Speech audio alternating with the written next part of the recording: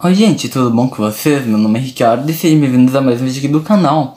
Neste vídeo eu estarei reagindo à original Muzan Kimetsu no Yaiba do Kaito. Estou muito curioso, eu gosto muito de Kimetsu no Yaiba começou uma coceira na ponta do nariz. Ai, odeio. Sempre assim. Tem tanta coisa que normalmente não acontece, mas que eu tento aqui pra gravar e começa a acontecer, tipo essa coceira incess... incessante, isso, achei que não ia ser a palavra incessante no nariz ou soluço que começa a me vir do nada sempre, né? Fora de vídeo nunca acontece. Dentro de vídeo acontece até demais. Enfim, uh, mas estou muito curioso, eu gosto muito de Kimetsu no Yaiba e a gente tem que ver relativamente muitas poucas músicas sobre o Muzan. Acho assim, que a que mais me marcou foi a do Max, a do Martin, sem sombra de dúvidas. Nossa, foi a música do Muzan que eu mais escutei. E Acho que só, não lembro de mais alguma outra música. Acho que eu provavelmente escutei. Ah, o Teus tem uma, se não me engano, não era? Eu acho que sim. Hum, mas de qualquer modo, a que eu mais escutei foi a do Marquinhos. Aquela música do Musa dele é muito boa mesmo. E o Musan, eu achei um personagem tão interessante. Um personagem tão, como posso dizer? Uh, um personagem muito real. Isso é um ponto que eu já comentei muitas e muitas vezes aqui no canal sobre como eu gosto de animes que acabam puxando mais assim pra realidade mesmo, pra uma coisa onde a gente uh, assista, que a gente lê e consegue, sabe, claro, a gente muda uma palavrinha aqui ali, a gente consegue encaixar na realidade as histórias dos personagens, como eles são, né, suas personalidades e tudo, e o Muzan é um dos mais reais, eu diria, né, um personagem assim que ele nasceu ali com uma doença e tudo, ele iria morrer, ele estava desesperado assim por uma cura e quando ele tem aquela cura acaba ele acaba perdendo algo. Claro, acaba ganhando, né, além de vida, ele acaba ganhando outras habilidades, mas ele perde assim algo uh, crucial para um ser humano até então, né? Antes mesmo dele provavelmente, bom, como ele seria o primeiro Oni, provavelmente ele nem entendia exatamente o que seria ser um Oni quando ele se tornou um de fato. Então até então era um humano, era alguém assim. Uh, com sonhos, sabe? Imagino eu, né? Porque, claro, a gente pode pensar que talvez ele já não fosse assim, porque ele matou o médico. Mas eu não acho que ele ter matado o médico uh, fizesse dele talvez uma pessoa ruim. Claro, quer dizer, não que eu esteja banalizando a morte, mas eu, o que eu quero dizer é que não digo assim que ele talvez tenha matado por maldade, e sim pela pressão do momento, e sim pelo tipo, eu vou morrer, sabe? E não assim por ah, matei meu médico porque eu sou mal, sabe? Não por isso, né?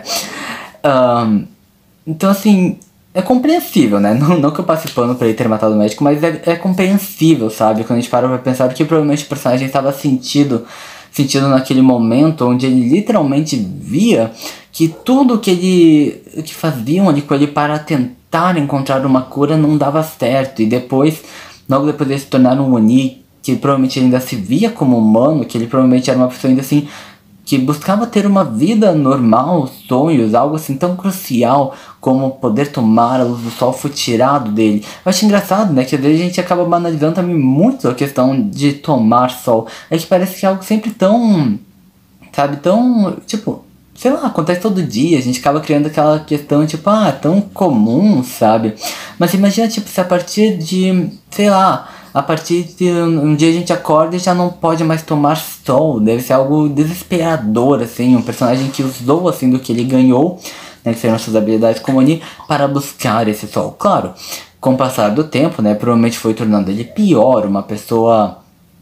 Uh, realmente ruim, de fato, sabe? Isso é mais do que óbvio quando a gente para pra, pra ver, assim, essa falta de... Essa enorme, essa gigantesca falta de empatia com a questão da transformação do Dionis, né? Porque é uma coisa muito cruel, né? Porque os outros Onis, já comentei sobre isso no canal, os outros Onis acabam sendo vítimas muito grandes também. Claro, né? Não tirando, assim, o peso ali de quem eles mataram, dos seus atos e tudo, mas vamos do fato que eles também são vítimas Claro, fizeram coisas erradas, mas também foram vítimas. O que? 90% provavelmente assim foi transformada forçadamente, sabe? Perderam suas memórias, desenvolveram toda uma nova personalidade sanguinária e tudo mais, sabe?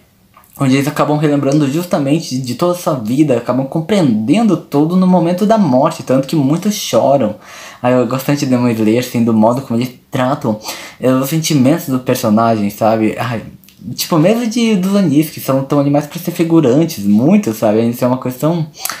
Mas o que eu quero dizer assim, é que o Muzan, claro, não o Muzan ali do final do anime, mas toda a história do Muzan, eu diria assim que é compreensível, sabe? Aquele início de história, a questão dele estar doente, dele se ver como sem futuro, e daí quando ele consegue, assim, poder viver algo tão precioso, assim, atirado, sabe, dele. Entende? Porque ele nunca teria uma vida normal ali sem poder tomar sol. Claro, se fosse nos dias de hoje, talvez sim, mas naquele tempo específico que se passa ali no anime, definitivamente não, sabe? Então, o que eu quero dizer é que é um personagem. Nossa, falei muito, né? Eu quero dizer que é um personagem extremamente interessante. É um personagem que eu gosto bastante. Aquele personagem assim que a gente ama odiar, né? Tipo a Death de Akame Kill eu gosto muito desse Death. Já comentei muito com vocês, nossa, que ela é definitivamente minha vilã favorita. Outra personagem que é extremamente real, né? Com ideias motivacionais. Eu gosto muito de animes assim, onde a gente olha assim, enxerga de cara traços da nossa realidade. E. Ah, tá, eu já ia perguntar porque eu tava falando desse Death que eu já tinha esquecido. Mas é que a, é, pra mim é similar a S-Def. O Muzan é tipo de personagem que, assim como S-Def pra mim, é aquele que a gente ama odiar, sabe?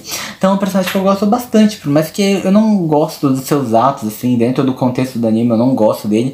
Mas eu digo assim, gostar do fato de ser, dele ser um personagem muito interessante, de fato, sabe? E original é um título mais do que perfeito. Literalmente o primeiro Oni, aquele que veio antes de todos. Literalmente o Oni original, né? Os outros são basicamente extensão do seu sangue. Então vamos ver, já falei até demais, né? Em 3, 2, 1 e já! Nascida sem vida. Com um corpo frágil e voltou dos mortos. Eu não quero, eu não posso morrer, não ainda Mas essa doença me matará logo, logo. Feito a proposta um tratamento especial. Será que teria a cura, a cura que eu procuro. Hoje mata meu médico, percebi que sou mortal. Mas agora o sol, ele queima. Demorar humanos, para mim nunca foi um problema. Mas aceito perder pro sol Após tantos anos, minha mente agora para e pensa. Talvez não consiga só Propagando meu sangue. Lendas então começam a surgir? Cuidado para a noite não se deparar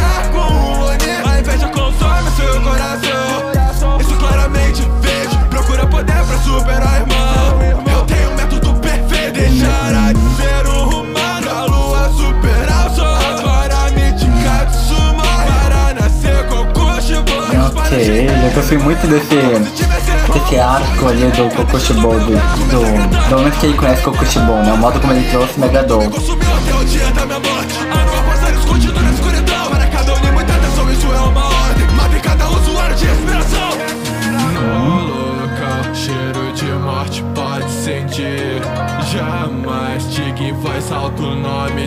Acho que essa é a ponte, né? Porque eu imagino que ele traria a morte, a transformação do Akata.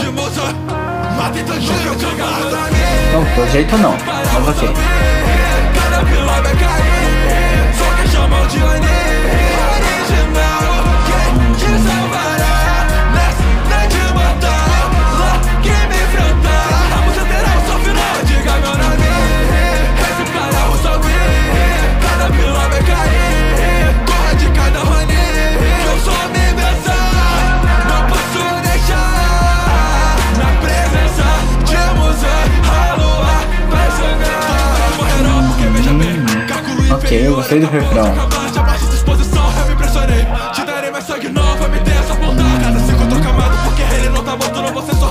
Se você falhar de novo Superiores derrotados, isso não é nada bom visto, vou ter que sujar minhas mãos Essa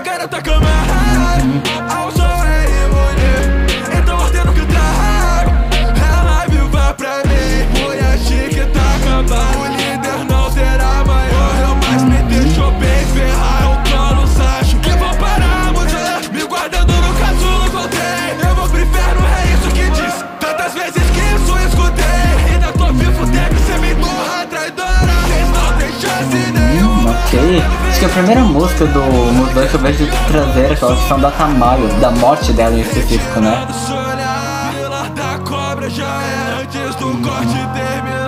Meu corpo se regenera. Se atrapalhar meus planos, atalhados tem um final. Até o sol nascer, devo matar todos no local. Tanjiro mato, você me irrita. Então a sua morte vai ser dolorosa. Essa tá maior que traidora maldita. Envenenado que eu faço agora. Pensar duas vezes Ok, bom dizer que ele foi envenenado pela Tamayo. o tempo de vida de cada Hashira. Vejo minha nova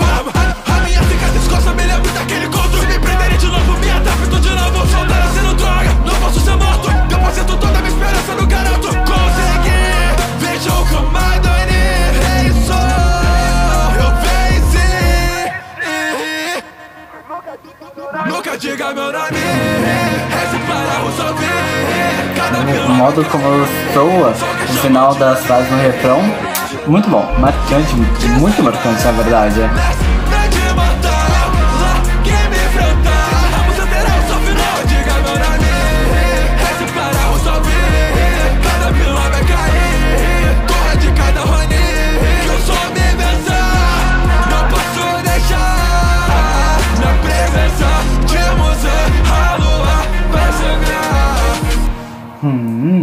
Ok. Gostei dessa música. ah, bom, aqui a gente até. Ui. Ok, prendeu no meu cabelo. Detalhe que acabei de perceber que começou a chover, então não acho que vai chover forte. Provavelmente não, espero que não, né? Só amanhã depois que eu parar de gravar, pelo menos. Mas caso acabe chovendo bem forte, eu vou falar mais alto, tá? Mas por enquanto tá bem baixinho, não deve estar pegando, mas só pra avisar caso comece a aumentar, né? Bom, aqui nós acabamos vendo assim um modo similar de contar, ah, por exemplo, a música do hum, Marquinhos, com algumas diferenças, claro. E um dos pontos, ah, começando com a cena na ponta do nariz. E um dos pontos que me chamou bastante atenção, mais pro final, na verdade, é a questão ali dele citar a Tamayo. A Tamayo é uma personagem assim, tão crucial para a derrota do Muzan, extremamente crucial, né? Porque a gente vê assim ela literalmente no início da história do personagem, início entre aspas, né? Quando ele encontra lá o Yorichi. E eu fico muito indignado que nenhuma música cita ali sobre ela, sobre ela, tipo, ser aquela que fugiu e tudo e tal, sabe? Acho que tava, sabe, pra dar uma, uma palhinha, porque quando ele traz, por exemplo, aquela questão ela vai ser uma traidora, dela dele ter matado ela, de- dela também ter o envenenado e tudo, parece que não tem aquele peso de fato, sabe? Ahn, tipo, realmente não tem peso sem nenhum.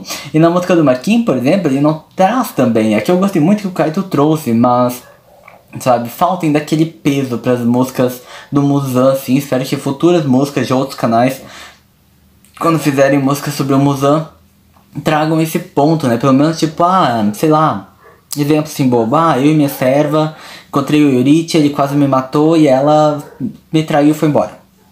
Tipo, isso, sabe? É uma coisa simples, mas que quando entra ali no contexto da outra final já tem muito mais peso para aquele momento, né? Até aquela cena da Tamayo, da morte dela em específico, eu acho uma cena assim tão marcante, né? Dela falando ali ah, sobre sua vingança, né? Porque depois de Naruni ela acabou matando o marido e o filho, e foi coisa que correu ela por muito tempo, dela perceber que ela podia ajudar e tal. Então, ainda assim, é uma coisa boa de na música? É sim, mas acho que ainda falta peso quando se trata de falar sobre a Tamayo. Entende? Claro, não, não trazer assim o peso não significa que seja algo ruim. Já trazer a personagem já é algo muito bom, até porque nenhuma outra música, pelo menos que eu lembro agora, ah, sobre o Musa cita sobre a personagem. Uma personagem bem interessante também, pena que também não é, sabe, tão explorada assim. Mas ainda assim não deixa de ser uma personagem bem interessante. E ela, e ela tem um peso muito grande ali naquele final e já é muito bom citar ela, né? Por mais que eu sinta que ainda falte peso mesmo de fato.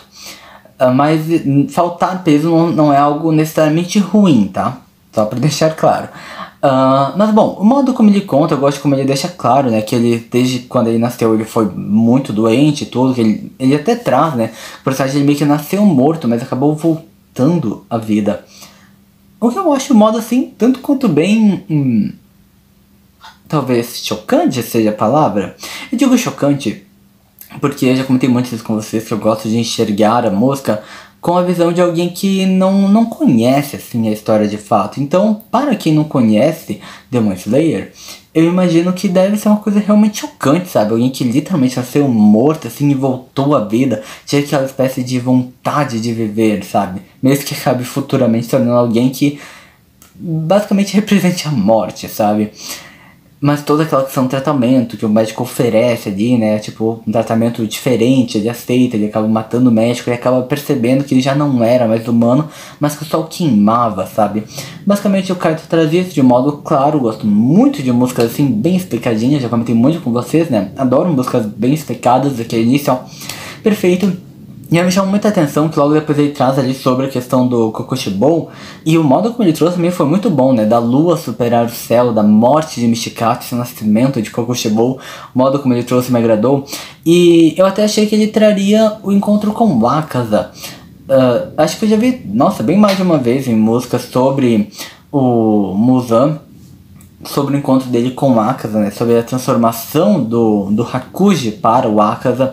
Que foi até uma coisa assim bem marcante. Claro, mais marcante é a história do Akaza. Não trazer tem realmente relevância? Não, de modo algum. Não posso considerar que é um ponto que eu não gostei, que ele não trouxe. Isso não posso considerar de modo nenhum, na verdade. Uh, mas é uma coisa que eu achei que ele traria, já que ele trouxe né, ele com o Kokoshibou e tudo. Porque, ao meu ver, não faz tanto sentido. Exemplo, trazer ali o Kokoshibou e não trazer o Akaza, sabe? Daí, poxa, se fosse pra, para não trazer o Akaza, eu imaginaria que talvez ele não trouxesse o Kokoshibou. Porque conforme a história avança, na história do Musan, do modo como ele conta, não tem realmente relevância trazer ou não os dois, sabe? Então, por isso que eu achei estranho, sabe? Tipo, trazer um e não trazer o outro, já que independente se ele vai trazer um ou os dois, não vai ter relevância direta. Mas eu imagino que a ideia dele possivelmente foi trazer o Kokoshibon, porque logo em seguida ele falaria sobre o Yorichi, né? Sobre o encontro dele sobre o Yorichi. Mas também, de certo modo, pra mim não faz tanto sentido, porque uh, parece que não. Assim, enxergando do ponto de vista de alguém que não conheça, não tem como relacionar exatamente, assim, Uh, uh, como fazer assim, um pouquinho de imagem que vai aparecendo bem rapidinho, tipo, ah, esse aqui é o irmão do outro, esse é do outro tal, sabe? Do, claro, eu sei porque eu conheço, mas como eu falei, sempre tenho enxergado a visão de alguém que não conhece, então imagino que possivelmente alguém que não conhecesse não iria relacionar que o Kukushibou seria irmão do Yorichi nem nada. Mas enfim, ele traz o refrão. Uh, não, ele traz o primeira questão ali, né, sobre matar o Tanjiro e tudo, que é um momento bem marcante, até porque é a primeira aparição do Musan no anime, né? Muito marcante. Uh, daí um refrão, um refrão que soa muito bem. Palavras terminadas em ir, uh, que terminam ali com ir ou i, o modo como Kaito rima elas, o modo como soa, extremamente marcante, o modo como ele traz o título, e em seguida ele começa a trazer frases que rimam com o título também me agrada bastante, então é um refrão bem marcante, eu diria. Gosto muito de refrões assim. Mas tem justamente várias palavras extremamente marcantes. É porque ele não, tipo, ele não traz assim duas frases e elas rimam, depois já vai para outro tipo de rima e tal. Ele usa bastante as palavras terminadas ali com ir ou ir para rimar. Então ele utiliza bastante isso. Isso é uma coisa que torna muito marcante, sabe? Essa, como pode dizer, essa repetição sonora no final das, das frases. Então cai muito bem, cai de um modo que deixa a música bem marcante. Ok. Depois ele traz o que era, ah é, a morte dos luas inferiores. E ele também cita ali brevemente sobre o emo. Claro, ele não fala assim, muita coisa, mas o emo chamou ele, ele de uh, atenção dele, né? Tanto que por isso que ele deixou o emo vivo, que seria o lua inferior 1, né? Pra quem não lembra, porque nem todo mundo decora os nomes, eu já decoro todos, né? Eu literalmente sempre decoro todos os nomes dos personagens. Uh, enfim, o que veio depois? Hum... O emo. Ah, me chamou muita atenção que ele fala sobre o Akaza, mas ele traz aquela pergunta ali sobre do porquê o Tanjiro não estava morto, né? Algo que eu achei bem marcante quando eu vi. Que justamente o Akaza foi lá, né? Ah, nossa, matei o Pelado das Chamas e o Muzan. E o Tanjiro. E aí o Akaza, né? Ele. Enfim, mas ele trouxe, eu acho que foi um momento bem marcante. Não esperava que ele trouxesse aquilo, mas gostei bastante também. E ali a luta final, claro, também cita ali sobre a Tamayo. Ah, outro ponto extremamente marcante. Nossa, pra mim tudo é marcante, né? Mas pra mim tudo é marcante mesmo, fazer o quê? Outro ponto que eu achei bem marcante de trazer foi a questão da morte do Boyashiki. Que até fala que o Boyashiki estava praticamente morto, mas ainda assim o deixou basicamente um estado muito mal, né? Eu gosto muito da, desse final do Boyashiki. Como alguém estava realmente disposto ali a se sacrificar. Aquela conversa, aquela conversa final dos dois também é muito boa. Mas ele trouxe sobre aquilo inesperado, logo em seguida as questões com a Tamayo, e depois a batalha final, essa nova forma. Achei um tanto quanto, como pode dizer, desconexo, talvez trazer só sobre o Banai estar cego, eu achei até que talvez ele fosse, ele fosse uh, falar mais coisas ali da luta. Ai, mosquito chato. Enfim, achei até que ele talvez fosse falar mais coisas da luta, mas ele literalmente só trouxe que o Banai estava cego e deu, né? Só citou, só esfregou na cara do Banai que ele não enxergava mais. E uh, depois o fato de tomar o corpo do Tanjiro. E assim como outras músicas sobre o Muzan e como vários outros personagens, ele não traz o final de fato do personagem, que seria sua derrota.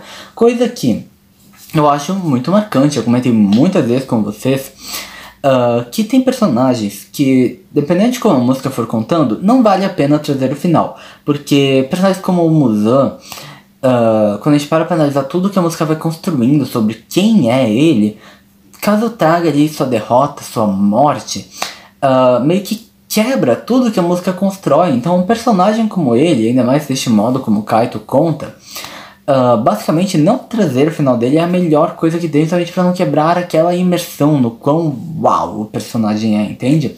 Então, não trazer seu final foi excelente. Enfim, gostei bastante da música, uh, não é minha favorita sobre o Musão, foi uma música tipo que eu gostei bastante, também não foi uau, nossa, gostei, uau, sabe? Foi uma música legal e vai para a playlist de músicas favoritas. Gostei bastante do refrão, um momento mais marcante, eu diria. Um, bom, enfim, então o vídeo foi esse, link do vídeo original estará aqui embaixo na descrição e até o próximo vídeo. Tchau!